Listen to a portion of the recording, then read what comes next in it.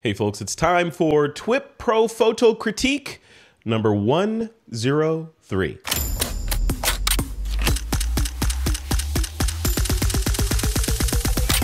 This is TWIP. Hey folks, welcome back to another This Week in Photo or TWIP Pro Community Photo Critique. We got a mountain of images this week. It turns out the community really, really, really likes the minimalism topic, and we got a lot of good ones in there. Troy, did you see? Did you see the crop that came in this week? I did. I did. I was going through, you know, because we we play with a couple of them to edit, and uh, I had a hard time picking which ones I wanted to play with. And I had a really hard time picking a favorite. Uh, there's a lot in here. Yeah, there's right? a lot of great images. Yeah. yeah, and I love this. I love this topic. So this is this is going to be a joy to go through and critique.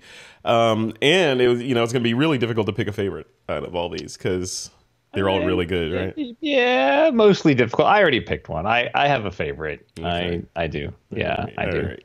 Well, I, I actually have three favorites. I have one. I well, I have three fav- favorites ranked one, two, and three. So ooh, hopefully you're ooh. number one. I'm not going to talk about two and three because this is a binary show. so right, right, right. You know, so well, hopefully your number one matches my number one.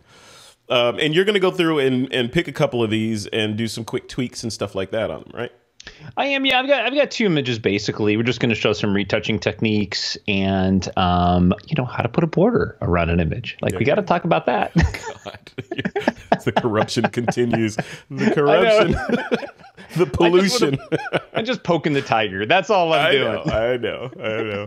I know you. I know you. I know. I know. All right. Let's say you dive in. Oh, special occasion this is the, the first show that we're sharing the critique out of the new uh, TWIP Pro community. Instead yes. of using the old platform, we're on the new cohesive platform. So we'll see how that goes. Yep. Everything's an experiment, right? Everything's an experiment. Everything. Yep. Until I, I consider everything an experiment until it's successful and repeatable.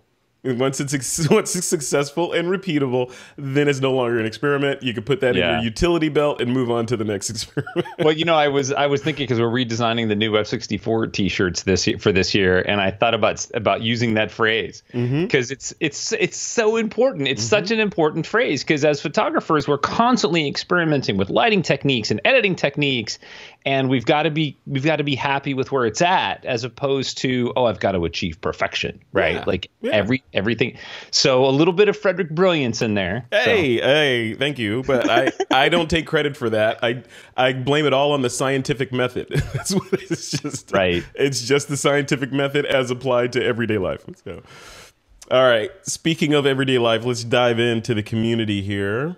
Yeah. Look at that beautiful community. Ah. Sexy. Every so time I look at it, I go, ah. ah. where those where's those sound effects or those claps or you know I could do that but then I know I know. but then I'm not. It's, a, very corny. Yeah just imagine. Yeah yeah. But you gotta you gotta have on your shoulder like somebody that you admire and like what would so and so do in this situation? Would so and so add like would Idris Elba if Idris Elba was running a site would he have sound effects on there? Probably not so I'm not doing it. that's the reason to do it. Dare to be different Johnson. Nobody else all right, here we go. Look at all these beautiful faces on the right there, the recently active members. Uh, okay, here's the community, and here is the post I just threw in there 40 minutes ago. Um, that's showing all the submissions that are in the critique forum. Right. So right. let's start with number one. This one's from Alicia. All right, what do you think? I I love this image. This is um, at first I didn't know what it was, mm-hmm. uh, you know, because it's very abstract. So for me, like right away, I looked at this image and I thought, I I, I like the colors, I like the shapes. It's it's kind of feminine. I'm not sure what I'm looking at. And then as I brought the image up bigger, I realized it's a hillside with trees. And so that super subtle color in the background, mm-hmm. um, the, the form, the nice composition where we've got the hillside on the lower thirds and then the sky really adds a lot to this image. And I I really don't have anything to add to it other than maybe smoothing out some of that noise that's in the sky. That was it. That was the only thing that was bugging me too. It doesn't really bug me, and because I, I, have to look at it again, because that noise could be knowing Alicia that that could be intentional, right? Of course, yeah. I she's mean, a, it- she's it a very be. accomplished photographer, and she wouldn't submit something that had noise in it that wasn't intentional. So I think I think she wanted that in there to sort of break up that that the smoothness of the sky to reflect the the high frequency of that horizon line. Maybe I don't know. right, right, and because we're getting very artistic in our topics, I Mm-hmm. think that yeah. Yeah, yeah, and I like the artistic direction. I mean, we'll I do too. We're a pendulum, so we'll swing into the other direction later in 2020. It'll you know, it'll all be about street photography or something, and, and then we'll swing back to artistic again. So Right, right. Well, with our next topic announcement, we're going to swing. yes, yeah, that's right, that's right. We can't don't re- yeah, that's a little foreshadowing. Ah, don't reveal it yet. Come on. all right, let's move on to the next one here, and this one is from Armando Brook. Well, I love the fact that it's black and white. That's definitely on uh, my favorite list. Um, the minimalism is is wonderful in this. I I'm getting a little confused with the with the heavy border. You know, the the heavy bottom. You know, and that, now that would be great for like an article with some copy. But as far as like a matted type of, of presentation goes, I think it's a little heavy. I like a nice heavy foot on a mat, but I think that's a little bit much. Yeah. Um, Well, yeah, it depends, right? I, yeah, because that's very that's almost Polaroid level chin, Right. On this, when I first when I see it with all that white, you know what I think of? The I think it was the second generation, second or third generation iMac that was all white. Remember, it was all white with a big oh, chin right. like and it had that huge base. Yes. Yeah, this is what this reminds me of. And and my brain is looking at this. And when I saw it when I saw it online, you know, the, the site is white, so the border kind of disappeared. I didn't really Right. realize that that was an intentional border. And then when I saw it in this context, uh, my brain is like, okay, why is that border there? Is it to if, you know, put a little word in the middle of the border that kind of tells you what's going on or adds to the the mystery of it or, you know, I don't know. I don't know. I think it is know- a little heavy though. But speaking to the image, I mean, I, I love the fact that it's in in monochrome, which is a little different for Armando. So mm-hmm. he does a, usually does a lot of color.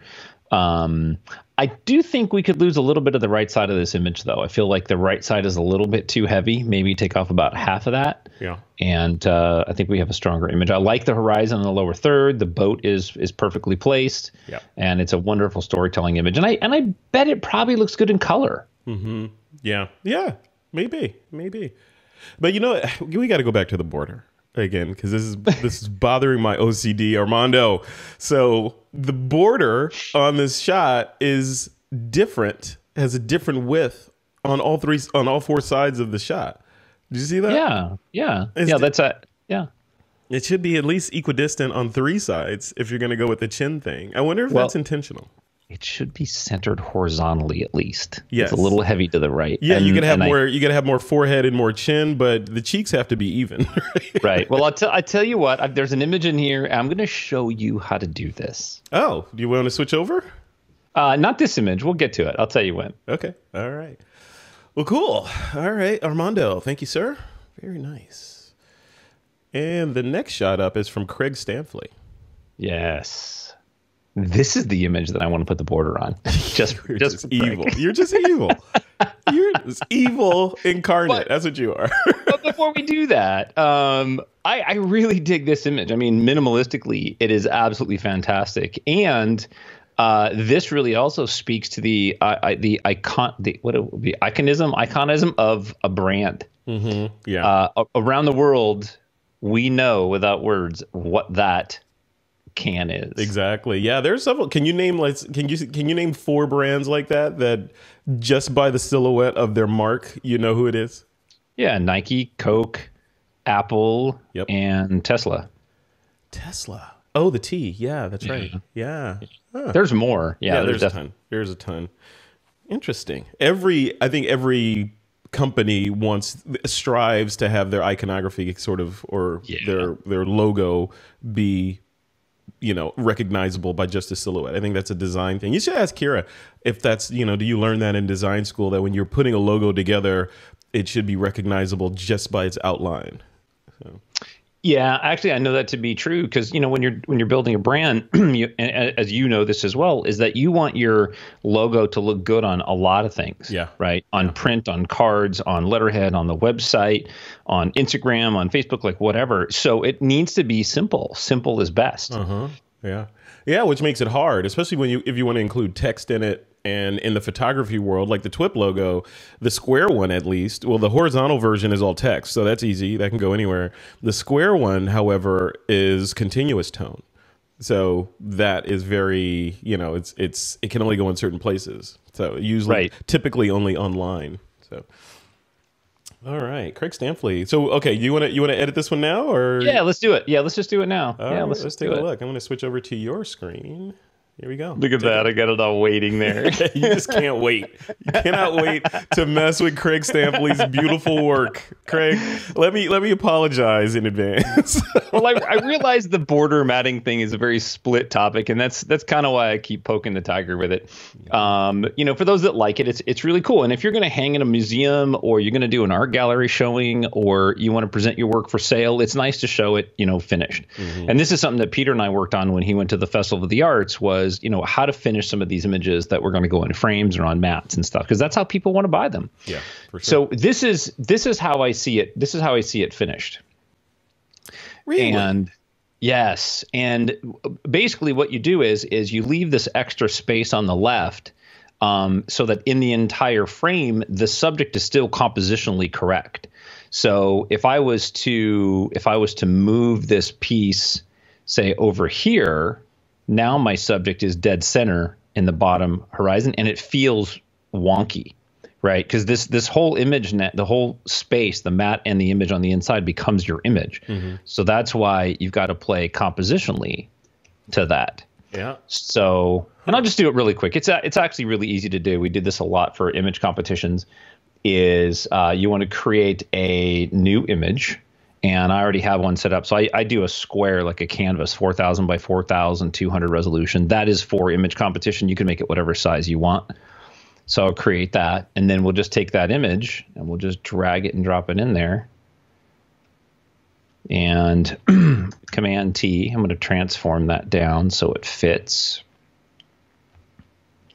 So I'll kind of get it where I want. And this is where you can kind of play with that compositionally. Mm-hmm. I do like I do like the the top and bottom to be the same. So once you drop it in there, you're going to grab both layers. Make sure you grab your selection tool and you go across the top. You have these alignment options. So I can align it. See how it just it popped vertically. yeah, yep. Yeah, if I want to move it to the left, I can do that, but I want to keep it. Oops.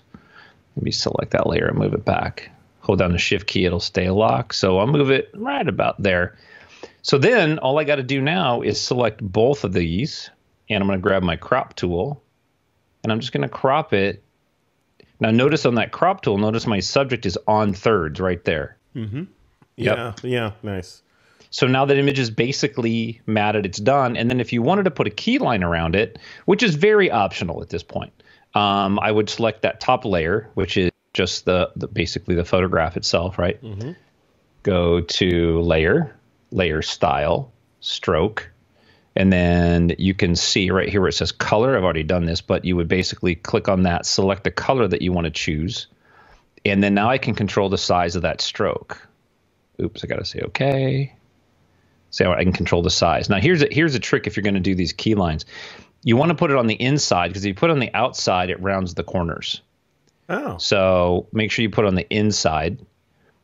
And then I I go super minimal, like just four or just little five. hint, just a little hint. Yep, and I love to turn the opacity way down. So the only way, let me get off of this, that you're really going to see that is if is if oop, there we go, is if you were to come in really close. Mm-hmm. And because obviously a white key line isn't going to work on this, so that's why I would do red or I would do a gray or something. And then it gives you the option in this case, like if I want to change this background, if I want the background to be a different color, um, I can do that. So let's say I want to make the background like let's say just a dark gray. I can just I can just change that really quick. Nice. And You know, I'm your curious. I'm curious to see what to hear what uh, Mr. Stampley thinks of this border. You know, this this off off uh, balance border around his image. So, Craig, comment comment in the community on the on this post with the gallery of all these images for the critique in it. Let me know what you think, or just comment on this image over to the. Yeah. Let me switch Yeah. over to the screen. So there's a little comment area. If you click on it, comment in here and let us know what you what you think of Troy Miller's uh, surgery. I, I did that I did that for the border lovers, not for the border haters. not trying to convince anybody. You just want to show you some options. That's all it Don't is. right? backtrack. Don't backtrack. Oh, no, Don't try to put it in a box. Look, I love it. I love it. I don't need. I'm not trying to convince you, and you know. no, it's cool. I love that's what that's the great thing about this stuff. It's you know there are no correct answers, generally speaking. Yep, yep. Just a bunch of tools. A bunch, a bunch of, of tools. tools and experiments. All right, let's move on to the next one. Thank you, Craig Stampley, for that. Next shot is from Freddie Sedano. I knew this. I, I knew this was a Freddie without even looking at it. Right. Yeah. without even without even looking at the caption and seeing who it was from. I knew this was Freddie Sedano. So what do you think? I love the I love the rim lighting of this for one. I mean, you know the the toy thing. I know I like the theme that he has in place. You know, his his sort of personal style is putting toys in in different and interesting positions, and you know, sort of the quirkiness of it. I love that, but I love this this rim light on this shark. You know, I love it. I think it could have been, you know, the the um it's a little I don't know for me. It's it's hard because I, I like it like it is, but I want to see less teeth in in the shark. Like if the if the midtones were a little bit darker so that it's a little less obvious that this those are teeth on the right side. Um you know, and it's more then it becomes more graphical and you could still you still know it's a toy because nothing has a surface like that. But it just, you know, I don't know. Either show me the teeth or don't show me the teeth. Right, right, or more, you know, more of a, a silhouetted outline all the way around. I, I agree. Um, I feel like you know this this particular image. Like I love the subject matter. I love the outline, the minimalism that's there. Uh, anybody that's that's into you know Lego or these type of toys is going to recognize this immediately, and that's that's awesome. Um, the all that negative space that we have in the top of the image, it just doesn't add to this image at all, unless you're going to use it for copy, right? Now, if you're going to if you're going to do that, um, throw some copy in there, throw something in there, throw a background in there, something super simple. Um, but for the most part, like just this image by itself, I would just I would center it in the frame and I would crop it. Um, so like whatever space you have left and right, I would do that all the way around. Yeah. And then and then it, it's it's it seems to me that it's sitting on something. So the the highlight across the bottom Is interrupted. Yeah. is interrupted. Yeah. And so to carry the story of the shark, right? Like it should be free floating in the ocean. So I want to see that highlight all the way around. That's that's how you would shoot it. Even for a commercial shoot, I think that you would want that. So if he if it was physically not able to do that because of the way the toy is constructed or whatever, you're excuse me, you're saying he should have photoshopped that in there, or he he should otherwise recreate that bottom highlight. yeah. Yeah, you could. Yeah, you could easily. Uh, well, I say easily, um, but you could bring that highlight in there. You could just grab the highlight that's on the left and and drag it in there and stretch it out and warp it and um, put it in the bottom and blend it. But it, it would take a few minutes. But yeah, that's that's definitely something that you'd want to do. Okay, cool. All right, Freddie Sedano, thank you, sir. Moving- Freddie, Freddie. Freddie. Like, what was Dun, that? What was that horror show Dun, dun, dun, with dun. Freddie? Uh, Freddie Krueger. Freddie Krueger. Yeah. Oh yeah. All right. Next shot is from Ernest. Oh. Mm-hmm. I so love this. Yeah. This is fall. Gonna Oh. smell those leaves. Oh, this makes me just want to go outside. That's it. I'm off. Yeah. this is this is a motorcycle riding through a bunch of leaves on a motorcycle in this in this area would be awesome. Oh man, look at that bokeh. That's amazing. Um, I'm alluding to an article that, that we've been chatting about in TWIP. Um, I absolutely love this image. Uh, Oh, the- oh, I know the I know the post you're talking. sorry, to bokeh or not to bokeh. To bokeh or not to bokeh? Yeah, yeah. I love when we get into those those discussions that are completely 100% subjective, like bokeh, you know. And uh, you know, there there are people that you know, there's just strong opinions. I love strong opinions in there that are Yep. that are if you look at them from, you know, myopically, it's valid. But when you look when you zoom out and look at okay, these are just a bunch of tools and anybody is free to do whatever the heck they want with whatever, it doesn't matter. It's all Yep. moot, right? Yeah. So You know, uh, speaking to this image, Ernest, fantastic image. Um, a couple things that I, I would look at. First of all, is the the leaves in the top left above the branch. I would I would blur those. I would get rid of those. You know, I would take those down or clone those out. I think that they're distracting from your minimalism. Um, and then the highlight at like two o'clock, top right corner. Mm-hmm. definitely take that that bad boy out. Because the one thing that we really want to focus on in minimalism, and and a lot of images anyway, is that we want to bring our attention to our main subject, and those things are detracting mm-hmm. from our main subject. Yep. Um, and then just the highlights on the tips of those leaves. You know, it looks like maybe a little bit of sun was you know catching those and and if they're thin or something so yeah. the light is really coming through so i would i would take those down or, or just clone those out i like those on there though i mean i, I agree with that that what the smudge um bokeh smudge on the upper right. Mm-hmm. I like the tips on those. Uh, really? Uh, yeah. It feels like fingernails. It feels like there's fingernails on those leaves and they don't belong there. Yeah, I don't know. It's either that or it, it feels like maybe it was well, it's fall, so clearly it's not ice. But maybe it's water. I don't know. I don't know. Yeah, I kind of yeah. like it in there because it, it, it adds a little bit of interest. It makes it makes me think, what the heck is that? Well, and and and there you go, right? Like I'm going to buy the version of this image without those, mm-hmm. and Frederick will buy the version with those. Yes. So welcome, welcome to retail, right? Yeah.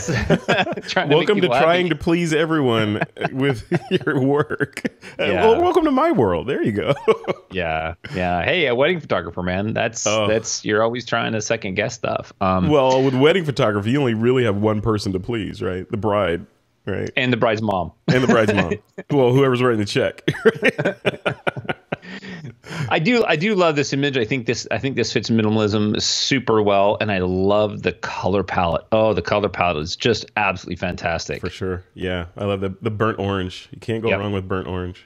Yep, yep, and good use of a shallow depth of field, you know, on that lens. That's that's fantastic. That's a great way to work. Yeah, I love I love shallow depth of field. You know. oh yeah. I just I, you know I, I don't care what anybody says, whether it's in vogue or not. I love shallow depth of field. I used to say life in general just looks better at f one point two. yeah, it does. it just does. and I would spend the money for like a an 85 or a 50 millimeter 1.0 for my camera if I could get one. Mm-hmm. Yep. Yeah. Yep. Very cool. All right. And this was Ernest. Thank you, Ernest. Moving right along. Next shot is from Joshua Sommerfeld. Self portrait. So I made a comment. Not everybody's going to get it, but this reminds me of the face of Bo. The face of who?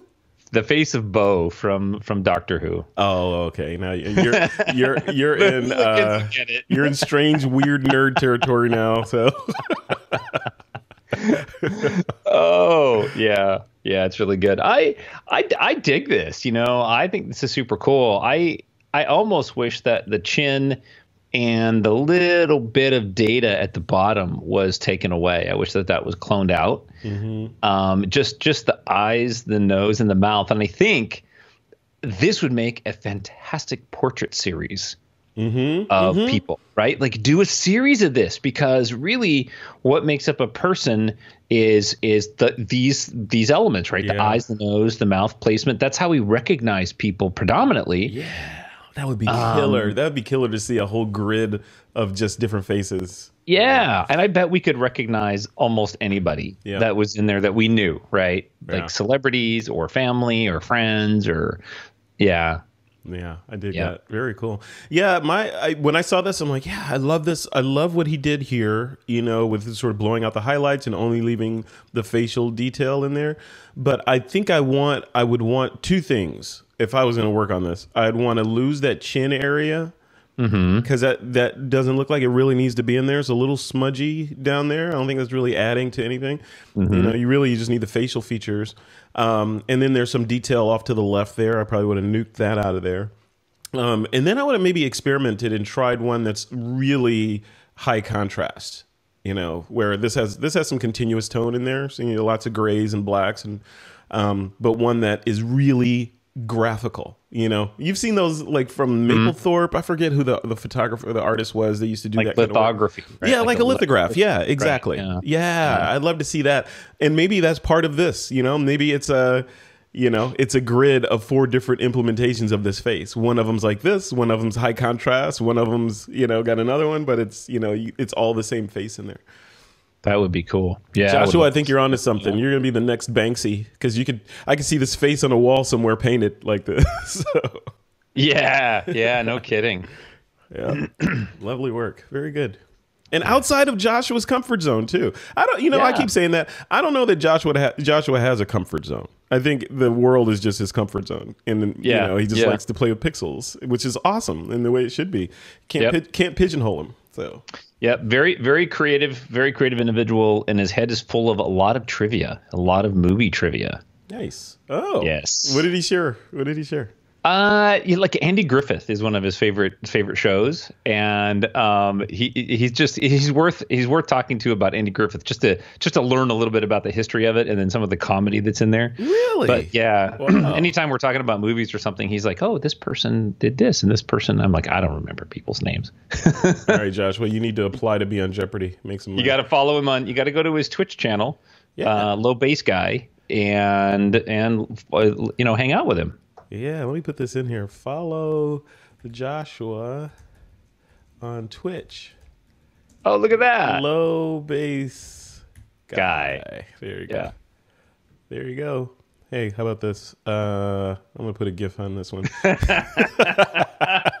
so, Oh man, how let we me see. Follow. Let me see. Let us follow. There you go. Perfect. Done. I just wanted to show off that you could do that with TWIP Pro. So there you go. Oh my gosh. All right. Thank you, Joshua. On to the next shot here. and you'd never believe that Frederick and I talked about how we could make these more efficient and I know, and we're only like a third of the way through. we can do it. We All can right, do it. We can do it. All right, I gotta speed up. I gotta speed up. But these are good images, and we're not we're not saying anything that's not substantive for the image, except for those ducks, maybe. All right, this shot is from James Glenny. yes. We knew that without having to, to see the name. Yeah, yeah. All right. Um, what do you think? This makes me this. What what what substance do you think this is? I mean, I want to think it's some sort of alcohol, but maybe it's not. It's definitely some kind of scotch, knowing knowing him. Uh-huh. Um which makes me sad for my Oban is gone. So Where is it? In the it's in the bay yeah, now, right? it was it didn't it didn't make it home from Zion. Yeah. Um, so you know, with images like this, the, the minimalism is beautiful. The subtlety is absolutely fantastic. Um, I I would like to see even more minimalism in here, meaning the reflections pushed way around to the outside edge, so you know more hatchet lighting, mm-hmm. and the same on both sides. That's the phrase I was looking for. Hatchet lighting. That's hatchet. Yeah, lighting. yeah. So so right now, you know, you've got the softbox off to the left. It's a little bit too forward, too close to the camera, and maybe there's a reflector off to the right or a wall or something mm-hmm. that's bouncing in. I mean, these type of shots you need to shoot in total darkness against a black background with two identical light sources way at the back. Um, call it 11 o'clock and 1 o'clock at the back, right? If the clock's laying on the table, lighting the edge of that glass, and they should be identical in that in that rim light, and it should just barely light the edge of the glass all the way around. That's to get hatchet lighting, though, right? So, Yeah, but yeah, that's not it's a rule. too. I mean, it Yeah. looks like he was trying to. Do, I don't know. If, so, uh, James, let us know if you is that what you were trying to go for that. Were you trying to get hatchet lighting, or did you were you trying to intentionally to go for the asymmetry of the the highlights on the shot? Yeah, I think you know. I guess really where I'm going at with this, like for an image like this, is those highlights are distracting to me. Mm-hmm. Um, and really, what is amazing in this image is the the color of the liquid and the shape of the glass. So anybody that drinks scotch or whiskey, like we know what that glass is. We know what what's in there, right? What should be in there. And so I'm not interested in the highlights or the reflections of what's in the room. I really just want to see into the glass. So if this was a commercial shoot for a product, um, we want to we want to highlight the shape of the glass and the liquid that's in there, which is what we have mostly, right? Those hi- I think Yeah. those highlights are pulling us away from from that. Yeah, yeah, yeah. You're right because I find myself trying to, uh, you know, stalk the highlights to figure out what they're reflecting. So, yeah, Yes, Yeah. yes. And really, what's intriguing in this image is is those amber that amber highlight at the top and the ha- amber highlight at the bottom and the little bit in the base of the glass. I think Yeah. that is where the the money is in the shot. The money shot. Yeah, love it, love it. Hey, uh, here's a here's a slight non sequitur question. Since you're a you're a Scotch aficionado, is it is it legal, so to speak, to put um, uh, what do you call it? Can you? Is it legal to put ice in a drink like this? Wow, you just opened up a can of worms, my friend. Because for Christmas, I got some like like, like uh, Scotch stones that you keep in the refrigerator, and Yeah. and and I got some chrome ones as well. That you know for for depending on the guest that you're entertaining, I guess. Right. Well, you know, think of it this way: when you drink a Scotch or whiskey warm, you get the full flavor of it. Mm-hmm. If you if you can't if you can't stomach the flavor, then you make it cold and diluted. So Okay, say no more. Say no more. Those two words just speak volumes. Cold and diluted. Yeah, I don't think I want anything that's cold and diluted. Does it sound pleasant? you know. All right, cool. All right, moving on to the next one. James Glennie. Thank you, sir. All right, next shot is from Kai. Oh, I love this. Uh huh? Yeah. This this is the kind of stuff I drive a long ways off the highway to go find. This is what you pull over when you're on this little motorcycle road trip, right? And you're like, oh, okay, I gotta go shoot that. I gotta take a break. Yeah, yeah, that's that's definitely amazing. Um, you know, just just looking at it just now because I hadn't seen it before, I, I I think we have too much foreground, right? Like we just don't need that much of the road Really? or you know whatever that lot. Yeah, I It doesn't bother me. You know why I like the road in there? Because it's it's almost the same amount of of vertical space. It takes up almost the same amount of, of vertical space as the the grassy or the dead grassy area that that the building is sitting on. And then you have the, the the whole sky back there, which is you know the other yeah, you know yeah, I can the other see that. I don't know the other part of the image, the other percentage. So it's like big, small, small, and then you get this this image shot with a wide angle lens, presumably right smack dab in the middle. Right. I guess the problem that I'm trying to solve by cropping the bottom is that we have this sort of si- very, very similar tones throughout the image, and it's it, it- obviously the building is the center. We can see that, but mm-hmm. but tonastically. Um, the building doesn't draw my attention right away. I mean, the the lower left corner and then is is sharp. The lower right corner is soft, so that's on that thing's running on an angle. Yeah. Um, it's almost the same brightness or tonality as the building. So you know, these are one of those images where, yeah, this is this is really cool, but I'm I'm looking around the image outside of the building, you know, for my for my main hook. So Yeah. That, that may some- be the wedding photographer in you, the portrait photographer. Yeah, wanting yeah. A, you could put a bride and groom on the left and right of those poles. there is no doubt there. I am I am not going to deny that at all. Um, You're like yeah, something's there's- missing. I put can't put my finger on it. What is?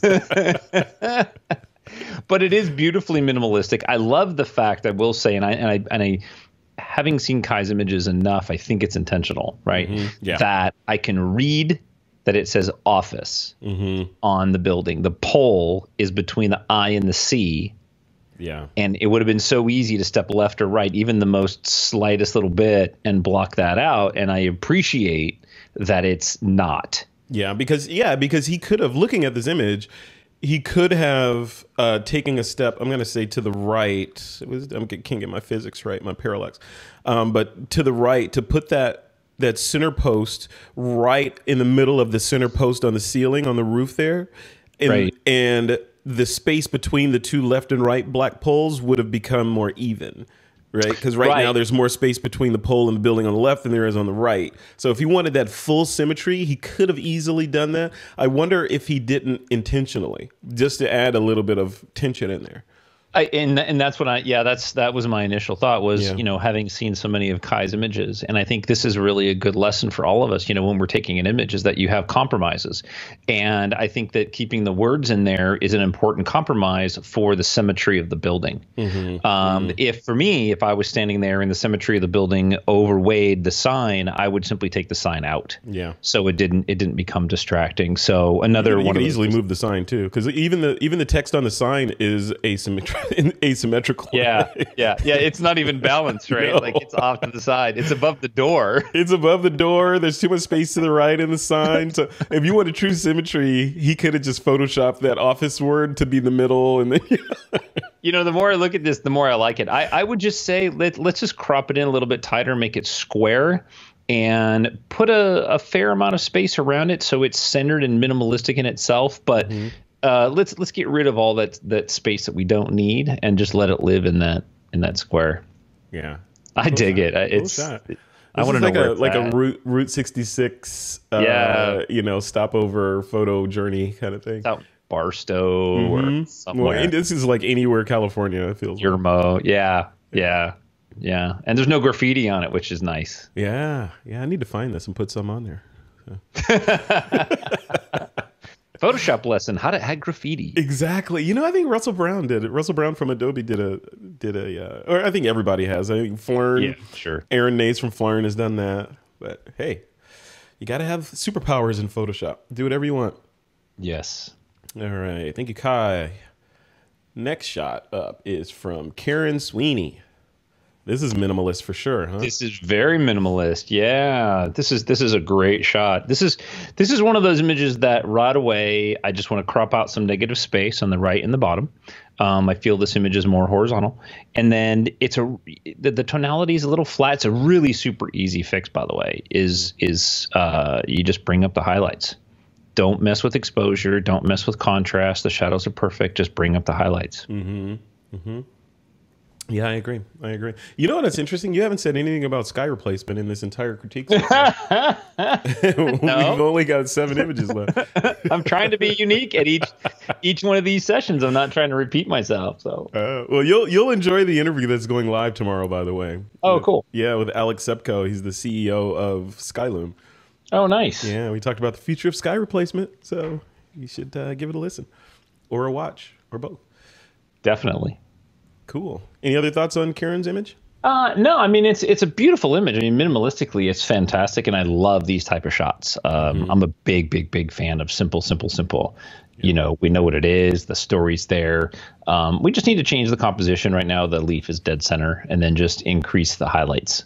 Yeah, this whole this whole series is a good is a good uh, lesson to newer photographers that complain mm-hmm. about not having anything to shoot because they live someplace that's not picturesque, you know? Oh my gosh. It's dude, walk out walk out into a vacant parking lot and just look look. Eventually you'll find something. Maybe yeah. it's tiny, but it, there's always amazingness there. Always. Yep. Yep. It's a cool planet. I think I'll stay a while. As if I had a choice. But I'm I'm of the opinion like there's no intelligent life, beam me up. Yeah, exactly. exactly or you know reboot reboot the computer because this code yeah, is reboot, fragmented. Yeah. yeah, give me the blue pill. exactly. All right, this next shot is from Lamb. Yes. I wonder if that's Lamb in this shot. Well, no, it can't be. He's taking the photo. No, no. You know, th- th- this this shot right away initially, um, I was I had to look at it a little bit longer to really figure out like what part of it my brain liked and didn't like and what I you know how I wanted to to sort of work the image. Like if it was mine sitting in my library. Um and what I've what I've really come to really love about it is the divide of the highlight and the shadow where you've got the background is bright and then then it's dark on the right and then you've got that juxtaposition of him this gentleman shaving on the left layered on top of the highlight right like mm-hmm. I I really like that graphically yeah yeah. Um, it's it's less of minimalism to me in the in the image because there's a lot of stuff going on, but artistically, uh, there are some really nice elements in there, and I like that sh- highlight and shadow balance. Yeah, I think I think I would have erred more towards cropping in a little bit because I don't I don't know that I want to need I need to see that bucket you know, and all that stuff on the right side, and I don't need to see his waist and all that. So I probably would have kept it graphical on right. on the guy that's shaving, right? And kind of maybe cropped up just above his waistline or just above where that table is, and then in from the from the right side to lose that bucket and all that. Right. You know, focus the information or focus the viewer's eye on what this guy is doing. Right now, that's the most important thing in the shot. But I'm distracted by all this other stuff and that that big swath of space, black dark nothingness on the right side there when you don't necessarily have to be. Right, I absolutely agree, and I, and it looks to me like maybe that bucket was even dodged a little bit to bring it out. So photojournalistically, we want to see the bucket. Minimalistically, we don't need to see the bucket. Right, So it just yeah. sort of depends on what is the story you're trying to tell and what category are you trying to fit your image in. And these are things, by the way, that every time that I take images, whether it's at a wedding or a landscape or whatever, I always think, okay, what container am I putting you in? Mm-hmm. Um, and then I edit the image accordingly. Sometimes I edit multiple iterations of that, and then I find my favorite later. Um, so this one, minimalistically, I agree. Yeah, we don't need the bucket. All right, cool. Lamb, thank you, sir. And moving right along to the next shot, and this one is from Laura, Laura Patton. So many black and whites. See, black and whites and minimalism go together. You're the corrupter. That's what you. that's that's awesome. I will take it. yeah. Um, I love this this, is shot. I like this shot a lot. I did these kinds of shots. I uh, can I can I channel you? I want to channel Absolutely. what you may what you may say about this shot. Um, I'm not even going to do my Troy Miller voice, but I'm going to say you like the shot. You feel like it's t- it's beautiful. The the processing and just the sort of the sepia warm tones of this shot um, that she's layered into the highlights and shadows makes it feel soft and just nice overall your criticism would be that it's too tight and you hate when limbs are cut off. and there are limbs cut off in this shot, so you would have backed off a little bit to get the entire flower in the shot as much as possible, or photoshopped out those those offender the offending leaves or whatever. Right? Am I close? Yeah, yeah, you're really close. Yeah, I I would have tried to I would have tried to keep nothing exiting the frame. Um, I would, you know, if I had to, you know, Photoshop uh, or you know local manipulation, I would have tried to keep everything within the frame. Um, i- interestingly, though, when she posted this, she also showed the original image that she started with. So for those that are in the community, go check that out. It started with a color image, and I think her edits improved the image dramatically. So kudos to that. Um, but looking at the image the way that it is in front of me now, yeah, those are some things I would fix. I would I would also try to increase the highlights in the center of the frame, as opposed to right now it's brighter on the outside edges of the frame. So that one petal that's perfectly centered, which I love by the way, um, I feel should be slightly brighter and let the rest of the flower go a little bit darker. Make that Or- guy the the hero of the shot. yeah, yeah, because it's the center, right? And I and I love that that that that is picked, and the other petals are kind of falling away, and this is this is amazing. You know, to me, this is this is fine art. It just needs a few little tweaks. Yeah. Yep. I dig it. I, I think this is fine art as well. Yeah, I can see this. This this passes the hang it big on a wall with a big thick black frame test, right? right, with a nice mat. Yeah. with a nice mat. Yeah, yeah, yeah. Very cool. Good shot. All right, next shot is from Mark Harris. Yes. You know, Mark, this is this is beautiful. Um, unfortunately for me, living in Southern California, that looks like I'm looking out over San Pedro, and it feels like smog out over the water, right? I mean, like that's. But how unfortunate is that? That that's what we see, or that's what I see. That's what this tells me. Yeah. Um. So you have that visceral ugh kind of Yeah. feel when you look at it. Not And that I the love- image, not that the image is ugh, but just where you your brain Yeah. goes to, right? and I dig the ocean. I, you know, like I've said before, I don't ever want to be in it. Um, it doesn't ever need to touch me, but I love photographing the ocean for the minimalism and the patterns and the reflections and you know all those kind of things. So I would just say in this image, uh, maybe do some tweaking on the saturation and clarity, and and you know create a little more punch and maybe maybe just throw a little bit of cloud in there, a little bit of texture in the top. We almost got through the entire critique. I, not a cloud, cloud recommendation. but texture in the sky. You know, some whisper. Uh-huh. Yeah. Yeah, Or you know this this shot because it's so graphical and simplistic. You this this is great for um, editorial, right? So if you're doing an editorial Yeah. where there's just one little plane up in the you know, the upper left third there, you know, this little tiny plane over there, adding a little bit of interest. Yeah. Or one bird a or bird. it's- Yeah, no, it's so true. It's a secondary hook. It's what Mm-hmm. our brain loves to have. Now, I, I, I love the image. I mean, I I create these anytime I can. So I'm very drawn into these. I love it. Yeah. Um, Yeah, this is nice. This is really nice. You get lost in this image. Yeah. But now that now that you've said it's smog, now I I know, isn't that ruined terrible? it. I know it's awful. It's awful. And but look at the colors. like- the colors are great, going from a nice pastel blue at the top all the way down to the pastel orange at the bottom. that's the that, maybe that's you know you're having that visceral anti teal and you know uh, orange burnt orange thing that Hollywood does all the time that you hate. yeah, yeah. I don't know. It's it's it's awful that we that we see it that way. You know that I see I see smog out there or a haze. You know, yeah, Um, but that's that's what my brain tells me when I look at it. So and maybe that's what it is. You know, maybe he was going for that. So yeah, maybe Who knows? put a put a container ship out there yeah, there you go. or an oil rig. There you go. Yeah, this is off the coast of you know somewhere in China or something where a lot of Oh hell, are. just off the coast of, of Cambria or Northern California, anywhere out there. yeah, or any any coast on Earth basically. Yeah. So, Yeah. all right, cool. Mark Harris, thank you, sir. Cool shot, Mark. All right, next shot is from Michael Rhino.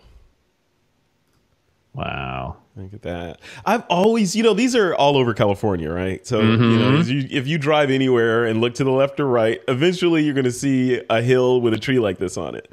And my brain, it doesn't practice what it preaches. And I, you know, I always tell people if you see a shot that you drive by every day, go stop and get it. Go did it, yeah. Yeah, and I never have shot this. I always want to do a shot like this with kind of a hill, maybe not sloping like this down the right side, but it, but a person sitting at the apex or crest of a hill with a tree like this, you Yeah. know, and a person sitting at the base of the tree with a book or you know something like that. Something Yep. graphical, really silhouetted and and and intentional. But- Yep. No, this is this is wonderful. I mean, this is this is minimalism at its best. Um, you know, these type of shots are always fun. In, in Northern California, this stuff is everywhere. They are all over the place around Napa and Paso Robles and Templeton, and like it's beautiful up there. There's so many of these. Yeah. Um, I do love the additional of the fo- the addition of the fog. Like he didn't add it, but I mean the fog really adds it and softens it and creates it a little bit more mysterious. So Yeah. I like that. I initially I, I kind of want more contrast or more um, density in the in the shadows in the top half of the image Yeah. without without ruining the fog, right? So try to get that that shadow density from the trunk to the top of the tree the same. I think that that would really help. Yeah. I tend to agree. But other than that, I mean, it's it's and wonderful. I, you know, I gotta, I gotta respect you for resisting the urge to, you know, to wanting to put a bride in this shot. oh no, I just didn't say it. yeah, it was there. Oh, Man, Oh my a- gosh. a, bride or someone sitting underneath a tree or walking or kissing in the foreground. Oh yeah, they're walking. Yeah, they're they're walking off to the to the left. Yeah, the groom is leading the bride, walking to camera right. Yeah. Okay, uh, so they're walking away from the tree or walking away from the tree. Yeah, of course, because the tree the tree is reaching that way, right? So Ah. you would you, I would want more space on the right of the tree, and that's the way that they're going. So the flow of the image is from the left to the right because the tree's leaning that way, or not leaning, but Yeah, you know but it's, reaching yeah, that it's, way. Yeah, it's off. It's uh, off And then it would- on the right side. Yeah.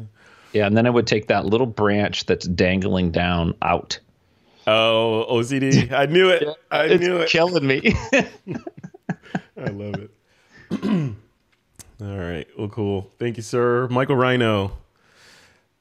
And here we go. Next one is from Michael DeRay. that is that is crazy. It's cool. like a micro armored transport right there. yes. This is, when I saw this, you know what I thought of instantly because I, you know, this is the way my my brain works. Um, who is that Paul uh, Verhoeven movie, Starship Troopers? Oh yeah. I thought of Starship Troopers when I saw. yeah, Freddy Sedano, you need to do a Starship Troopers type shot with with small insects and make them look big. Right. Right. Yeah. I you know this is such this is such a cool shot. I love the fact that that insect is you know in the lower left. It's nice and small, like we know it's an insect, um, and so we assume that it's small because of the, the the shallow depth of field and stuff. It feels that way. The highlights in the background are really just messing with my brain. Um, I I think they're just too distracting. Right. Circles like of confusion back there are confusing you. Yeah. I mean, I, I, you know, if if you really wanted to use them, you would get that bug perfectly centered so that he was highlighted mm-hmm. by it. Right. Mm-hmm. Notice I called the bug he. I just I just picked that. Yeah, sexist. Um, yeah, uh, but crop a little closer, right? I don't think we need as much vertical and uh, right space. I would still leave the insect to the left mm-hmm. half, so maybe a little horizontal on the left mm-hmm. 3rd mm-hmm. I like it. Feels like it's walking out of the frame. This would be an interesting image to flip horizontally to see how it changes the feel of the image. Because right now it feels like we're crowded to the left, right? Because like, you read from the left. Yeah. But if you flip it horizontally, it'll with a space behind it, it'll feel like he's leaving as opposed to arriving. Yeah, that's like a, that's a good point. You know, what we learned, what I learned is when in photography school 101 was generally speaking there are no rules obviously but generally speaking you want if there's a an object in the scene that's in motion or appears to be in motion you typically want it moving into the frame versus moving out of the frame. What do you fall on that yeah, I mean it's just it's just the way that Western culture works because we read books from left to right, top left to lower right. Yeah. So we enter in the top left and then we leave in the lower right. So a subject walking down a set of stairs from the top left to the lower right feels like they're leaving. Yeah. A subject uh, walking down a set of stairs entering from the top right to lower left feels like they're arriving. Yeah. And and that's just that's just you know Western culture more than anything else.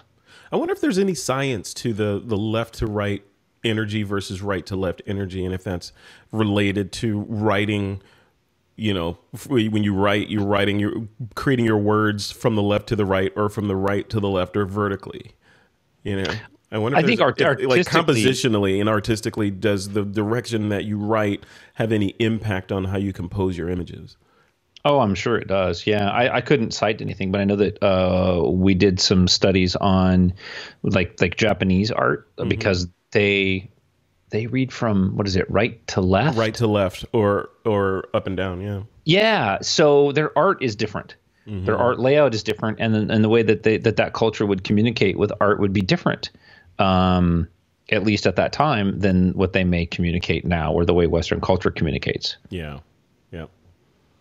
Cool. Interesting. Yeah very cool very cool. All right that was michael dre i think I think we have uh, just one more, right? Let's see. Two more, maybe. Yeah, Stephen Sharf. We haven't done this one yet. Yeah. D Ben. Yeah, this is one of the images that I that I was going to do a quick demo on and play with a little bit. Oh, um, okay, you want me to bring it up on yours? Yeah, yeah, yeah. Go ahead and bring it up, and then we can chat about it while we're while we're doing it. Um, just it, basically what this is just going to show is just going to demo some techniques of uh, removing reflections or noise or contrasts or things like that. I love the image, by the way. Um, such a beautiful toned image, and I love that silver. One of the things is I think that this image was probably taken in a museum Mm. And then the background was in, you know, to be blocked out. So I know that Stephen made a comment that he still has work to do on it, but that's, you know, that's that's cool. So what I would do is on an image like this is I would put in a levels layer. Mm-hmm. Right. So you come down here, you would choose levels. I would put the levels layer in there. And then what you want to do is is grab that center arrow and see if I slide that to the left, all of a sudden all that background starts to show up all mm. the way around. So if you oh, really, wow, yeah. yeah, so if you really wanted to mask it out, so then what you would do is when you're on your on your background or actually on your image, and I'm just going to grab use a clone brush. I'm just going to get rid of that. Then I can actually see. And you're doing that, so you're using the levels layer to reveal that stuff, but you're actually editing on the actual image layer. Yeah, okay. because because what nothing is more frustrating than actually taking an image, spending a lot of time on it, and then you print it, and something that you thought you had cloned out is is you can see the tracks, right? Yeah, because yep. it's near black and you might not see it. So even though if I turn this off, this layer off, you almost can't see the stuff that I removed. It's clearly there and it could very easily show up in a print. Mm-hmm. So this is really and I've done that. It's cost me thousands of dollars. Really? So yeah, wow. printing very large uh, images, and then you're like, oh my gosh, yeah. that wasn't actually black. So huh, that's really that's tip. it. Really good tip. What do you think about this shot compositionally? You know, compositionally, I, I, wish it was a little tighter on the left. I don't know why we have that negative space. I feel like this this type of image um, would look so good. You know, right. screen. There we go. Okay. Yeah, right in there, just really right in there, something like something like that, because mm-hmm. um, it creates that tension when it's kind of coming into that lower left corner. Mm-hmm. but one of the other things I was going to show really quick was, you know, getting rid of some of these highlights and these reflections in an object like this. I'm turning them on and off so you can kind of see uh, what we've done. And for the most part, it's it's really easy. It's just about using your clone brush with darken and lighten and you can use your band-aid tool so like these little specular highlights like it's on the fender right there. Mm-hmm. so i'll use the the band-aid tool and i'll go to darken. And the reason that i go to darken and not normal is that if there's a texture oops i'm pushing too many buttons. If there's a texture in there where's my layer? There it is. There you go. Um, let me put that at the top and turn all this other stuff off. There we go. That if there's a texture in there and I just do darken, it keeps the texture, but it only fills, you know, um, where the highlights are, right? So like you can see down here on the lower right, like there's like some kind of reflection in there. Mm-hmm. I don't want to disrupt the pattern or the grain, if you will, or the noise pattern that's there. So I'm just going to darken because that's really what the difference is, right? Like yeah. these specular highlights are just lighter, and yep. that's it. Yeah, that's it. Really, really clean. Just kind of. That's really I would, nice. I would come around just clean some of those up. I want to see. I want to see uh, Stephen Sharf. I know you're listening and watching. I want to see um, you, the final version of this. You know, after you have done your retouching, and I'm curious to know if you could comment on the image or in the in the community. Were you going to use this technique um, when you did the final retouch? Yeah, there's there's so many ways to do this, but really this is this is like the predominance of editing an image is just using highlight and shadows or darken and lighten um, uh, modes. Yeah. So even like fixing this grill, just a layer stamp and just a regular clone stamp tool, and I'm just gonna I'm just gonna darken it, and that's it. You just make sure they're aligned, and you just go through and be very very patient and you can remove that that reflection at whatever level you want, whether you want to remove it entirely or you want to remove it just a little bit. Nice. Um, it really creates some nice smooth body lines. But that's it. I mean, this is this is a this is just a, a fantastic image. I love the perspection, the perspective, uh, the wide angle lens. I think is perfect on this image. What would you, know, you do? A, what would you do with regarding that? The I'm, I'm assuming this car has white walls on it, so that the front left tire is just bright. Yeah, knock that down a bit. I I would, you know, that was one of the things that I that I actually played with. Um, which which image was it? Or maybe oh maybe it's on this layer. See how I knocked it down. So basically, what I did is I created a layer, and we'll just go ahead and do that really quick. So I just created a layer, and I went to my my clone stamp tool, and I changed the mode to darken, and I set my flow pretty low. I always keep the flow really low so I can brush things in. Mm-hmm. And I just picked right next to it and I just I just took my time and just painted over it and build up, yeah. Painted over it again. It. Oop, I got to be on layers and below. Yeah, there we go. Now, if you notice that because I'm using the flow, it doesn't come across even.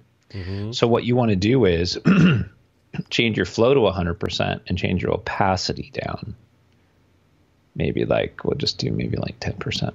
So then I don't have to worry about actually brushing it. I can just go over it as many times as I want, and every time I go over it, it adds another ten or fifteen percent. Yeah. Yep. And this is one of those things where it's a it's a subject that is confusing in the image, like we don't really know where it goes. So maybe remove it entirely if it doesn't really tell the story properly, mm-hmm. like if it mm-hmm. doesn't if it doesn't fit. Yeah. So yeah.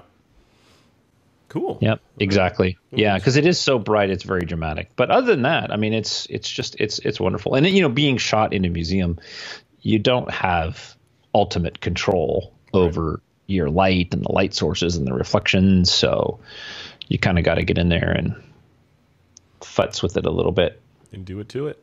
Do it to it. All right, Stephen Sharf. Good work, man. Thank you. Let's see. Uh, let's see the the final when you're done with it. I'm curious. Yes. All right, and the last shot. Is I think from... you're still sharing my screen. Oh yeah, let me switch over. There we go. There we go. All right, the last shot is Rick. I think this may be the, one of the first times that Rick has posted Rick Killboy. Yeah, this is such a fun image. Um, I love that uh, that reflection in the water and the stump. I mean, that's what really draws me in. Is is that right there? The background and stuff isn't isn't so much of an interest. Mm-hmm. So I I would probably crop this. Um, and then do some Which dodging. Way? Like crop in tighter on the stump, or you go vertical, go horizontal. Go horizontal. Mm-hmm. I think I would probably crop out that that background. The hills. Yeah, quite a bit. Yeah, maybe take half or two thirds of the vertical sky out. It's not really adding, or the vertical image. It's not really adding to the image. Mm-hmm. Um, and then just do some dodging on the stump. You know, bring that stump up a little bit. Make him pop out of there, right? Yeah, and then you know this isn't something that we could do now, but when you're shooting the image, you got to really think like, do I want my subject to be that tight to the left side of my frame? Uh-huh. Um, because the image is square, I'm assuming that it was probably cropped. So maybe there's more space on the left. So I think that if we had more space on the left, crop it in a little bit tighter, I think we're going to tell a better story. Yeah. Yeah. It is a little bit tight on the left side of the frame. Right. Yeah. I dig it. Cool. All right, Rick. Thank you for submitting that image. I think that is the last shot. It's going to. Oh, no. This is the last shot. Look at this. Water crash. Yeah. William Bannock. I like this these, shot. These are great.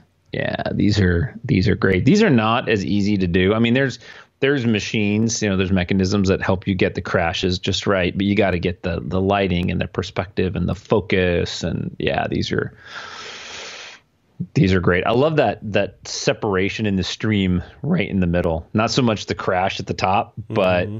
that left stream with the bubble and the two dots connected to the stream, you know? Yeah. Yeah. You know who does a lot of cool shots like this? Um, God, I can't remember his name off the top of my head. Um, photog.com. Photogy.com. Photog. Hmm. He does a lot of, and he does tutorials on how to do this stuff too. It's really, really interesting. And yeah, like you said, it, looking at those tutorials, this is not trivial to do. Uh, once you understand how what you're doing, it becomes a, an exercise in repetition to get the right shot. But getting things set up is 90% of the battle here. Right. So in in an image like this, I struggle with that extra splash on the lower right corner because I feel like it really throws off the balance of the image. So, and I and I've done these too, and and you really got to decide like what do I leave in the image and what do I take out. So, some of the water droplets I like to remove them because I don't think that they tell a story. I don't think they're really part of the image. So, there's one way up at the top there's a bunch off to the right mm-hmm. um, on the lower right and then that last little stream on the right i might take that guy out the um, last one on the right side? Yeah, the short one. The little one down at the bottom? That's part of the story, though, because it I think his caption had something about this is mother and son, and you know, well, sort of looking at it. Yeah. But, so what, I mean, but I don't have the caption. So what I was going to say is, if you're going to leave it there, then we need we need to center the two subjects. Oh, a, I see what you're a, saying. Yeah. Right, as opposed to a lot of negative space on the left and super tight on the right. So if you want to keep it, um, I think we need to balance the two subjects. And I love the two of them, but if it was going to stay with this particular crop or this format with the space on the left, I would probably take that out. Yeah. Yeah. Very nice. Very nice. I like this. I like this. I'm staring at it. I'm getting lost in there. So. They're great. Yeah. They take a long time. They take a long time to set up and a long time to shoot and a long time to edit and yeah. But one of the cool things because the, the background is solid color. Um, removing elements or even yeah uh, duplicating elements is uh, easier right? Yeah very easy. Yeah very simple. Cool. All right thank you william for that. And that's it. That's our last shot. All right. So what do you think? You have a favorite out of the bunch?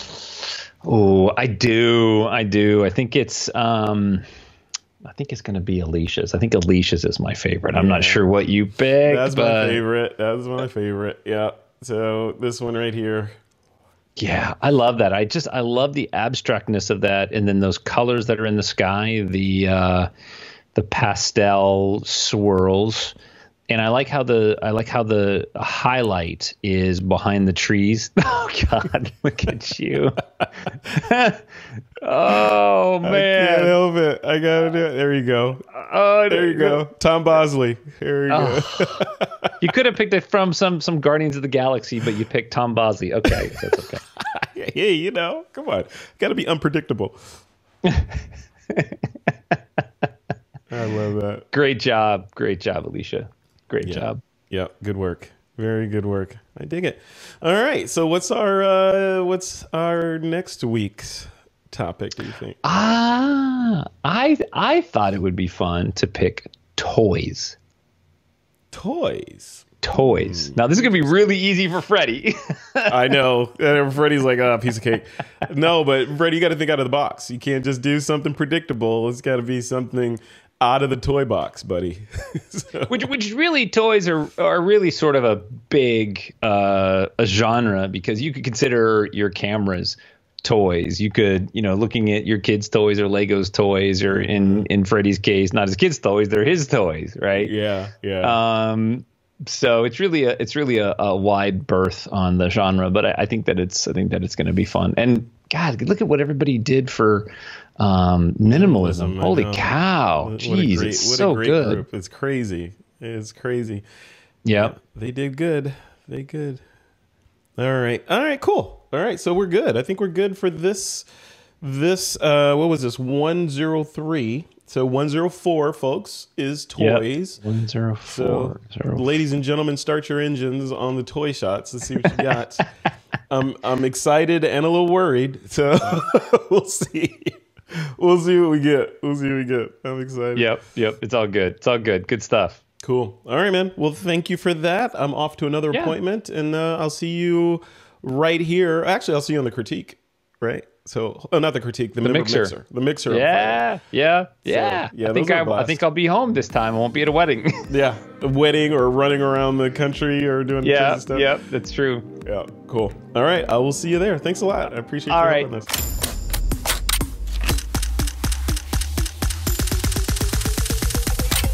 This is Twit.